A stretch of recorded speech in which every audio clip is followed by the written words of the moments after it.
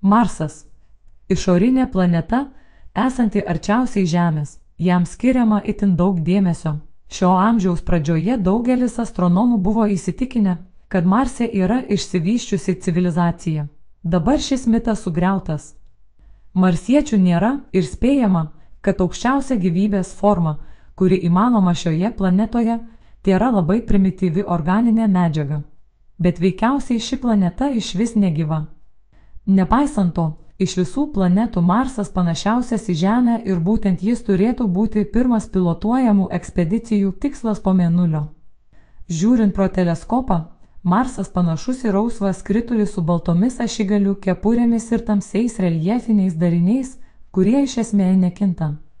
Jo vidutinis nuotolis nuo Saulės 228 milijonai kilometrų. Marso metai trunka 687 Žemės paras, o Marso para - 24 valandas 31 minutės. Negana to, Marso ašies posvyris į orbitos plokštumą tik truputį didesnis negu Žemės, taigi čia vyksta tokia pat metų laikų kaita, tik kiekvienas sezonas dvigubai ilgesnis negu Žemėje. Kaip ir Žemės, Marso pietų ašigalis per Heliją atsisuka į Saulę, Marso klimatui šis reiškinys turi didesnę įtaką negu Žemės orams, nes Marso orbita labiau ištesta.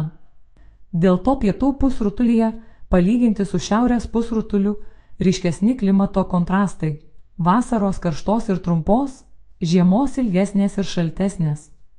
Ties Marso pusiaujų vasaros vidurdienį temperatūra gali pakilti iki 16 laipsnių ir aukščiau. Naktis labai šaltos, nes plona atmosfera negali sulaikyti šilumos. Tačiau Marsas nėra visai sustingusi nuo šalčio planeta. Marso vidutinis tankis mažesnis negu Žemės, skersmuo daug trumpesnis, dėl to pabėgimo greitis irgi yra mažas - 5 km per sekundę. Todėl tokia plona ir reta Marso atmosfera. Jo svarbiausias sandas yra anglies dvideginis, slėgis prie paviršiaus nesiekia ne 10 milibarų. Jokia žemiška būtybė negalėtų čia egzistuoti be specialios apsaugos. Marso paviršiuje nėra skysto vandens, tačiau baltos jo ašigalių kepurės veikiausiai sudarytos iš vandens ledo su tam tikra sušalusio anglies dvideginio priemaiša. Ašigalių kepurių dydis kinta priklausomai nuo metų laikų, kai kepurės didžiausios, jas galima pamatyti pro nedidelį teleskopą. Nustačius, kad tamsios Marso paviršiaus dėmės negali būti jūros, kilo mintis, jog tai yra augmenijos plotai žemumose.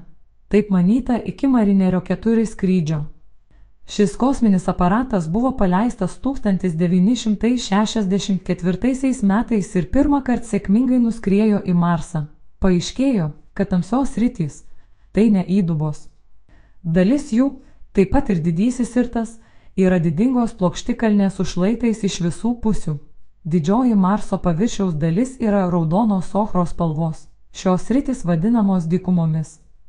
Planetos atmosferoje pučia vėjai, dažnos dulkių audros. Kosminiai aparatai vikingai pateikė duomenų, kad kažkada Marso paviršiumi tekėjo daug vandens.